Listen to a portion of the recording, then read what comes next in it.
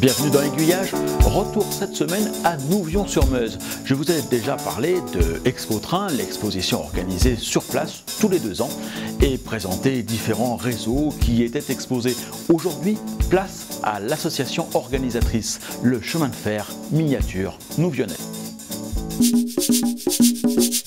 Nouvion est logé dans les Ardennes, sur le cours de la Meuse, et c'est un haut lieu ferroviaire. Pas étonnant qu'une association de passionnés s'y soit créée pour jouer au train et organiser tous les deux ans une exposition de modélisme ferroviaire. Lors de celle de juin 2014, le Mosan a pu y circuler pour la première fois, grâce à la réunion de cinq clubs. Un projet initié par un modéliste passionné et soutenu par Aiguillage. Daniel Robinet est l'un des organisateurs de cette manifestation.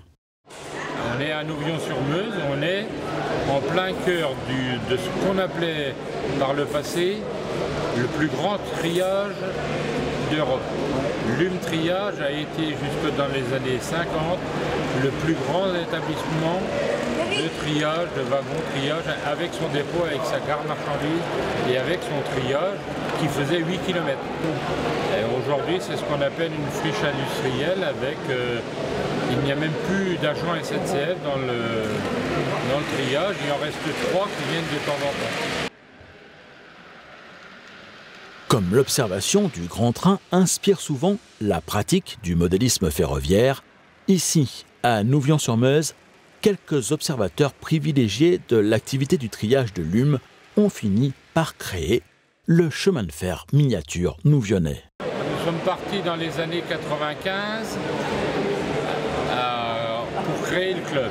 C'est parti d'une poignée de, de modélistes et en 97 on a créé le club officiellement et en 2000 avec Dominique on a créé la première exposition Expo Train à Nouvion-sur-Meuse et depuis 2000 on organise ça tous les deux ans. On rassemble des modélistes ferroviaires et de toutes sortes d'autres euh, figurines, bateaux, trains. Donc on rassemble ici des gens très atypiques, des gens fidèles, des gens qui ont une philosophie du modélisme et du, maquettisme exceptionnelle. Et puis nous, à Nouveau sur nous, ce qu'on fait, c'est qu'on privilégie l'accueil, la fraternité dans, l'exposition pour que tout le monde se sente bien.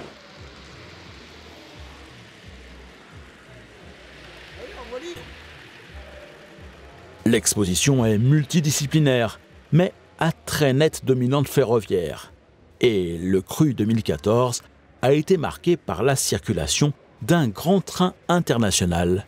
Oui, mais totalement imaginaire. L'étape principale, c'est le Mosan. Donc le Mosan regroupe cinq clubs qui se sont raccordés pour faire un seul, réseau de 71 mètres de long. Donc le Mosan, comme euh, les férules l'appellent euh, ce train de prestige, il partait de Dijon via les Ardennes la Belgique et la Hollande, pour ensuite desservir par euh, la mer l'Angleterre. Et comment Le Mosan est le fil de la Meuse. Alors c'était le, thème, mais là on n'a pas regroupé euh, de Hollandais parce que bon, bah, c'est vrai que c'est un petit peu trop lourd à organiser, mais le futur c'est d'intégrer les Hollandais à ce projet. Le Mosan, un projet dont je vous reparlerai régulièrement dans Aiguillage car il continue à avancer. Des extensions du réseau sont en cours de construction, d'autres clubs se sont rapprochés de ceux déjà interconnectés, et il est plus que probable qu'avant de faire ses premiers tours de roue aux Pays-Bas, il se passe des choses en Belgique assez prochainement. Pour l'heure, nous le voyons rouler parmi d'autres convois sur le réseau HO du chemin de fer Nouvionnais.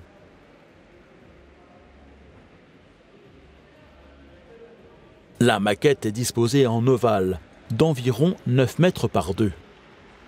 D'un côté est représenté le village et la gare de Nouvion.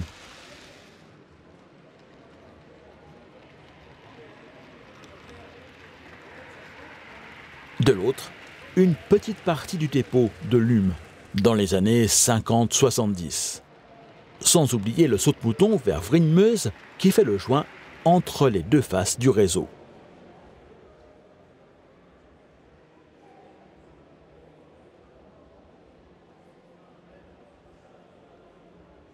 Fort judicieusement, le réseau présente deux faces, le côté Nouvion-Gare et le côté triage.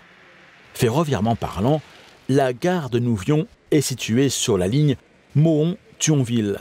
Mohon dont je vous ai fait visiter dans un précédent numéro d'aiguillage, la Rotonde, étant également un haut lieu ferroviaire. Aujourd'hui, la gare de Nouvion-sur-Meuse est une halte desservie par les TER Champagne-Ardenne.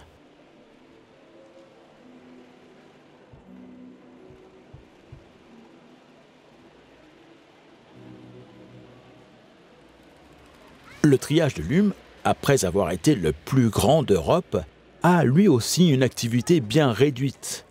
De nos jours, il sert à stocker les wagons en attente de révision ou les trains de travaux intervenant sur les lignes de la région.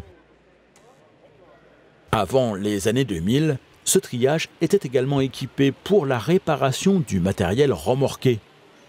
C'est là que les rames Rio ces rames très ressemblantes aux voitures inox en circulation dans la région parisienne venaient effectuer leur visite courante.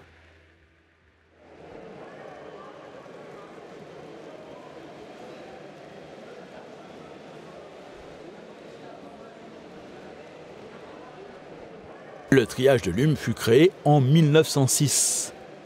Un dépôt y sera très vite construit entre 1908 et 1910 sur le site même du triage pour éviter la création d'une troisième rotonde à Mohon et surtout d'incessants allers-retours de locomotives haut le pied entre le dépôt et le triage. L'UM pouvait ainsi abriter sous une rotonde 30 locomotives, accédant à leur garage par un pont tournant de 24 mètres.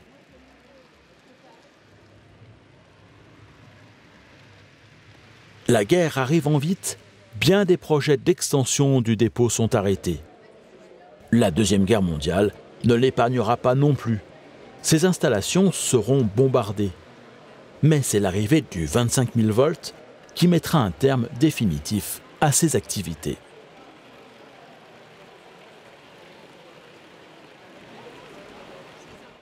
Côté triage, l'UM a été créé par la Compagnie de l'Est, le long de la Meuse.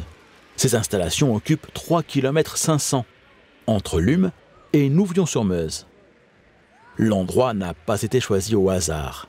C'est le point le plus proche de la réunion des lignes formant l'étoile de Charleville. À sa grande époque, 12 postes d'aiguillage permettent le tri quotidien de 2500 wagons.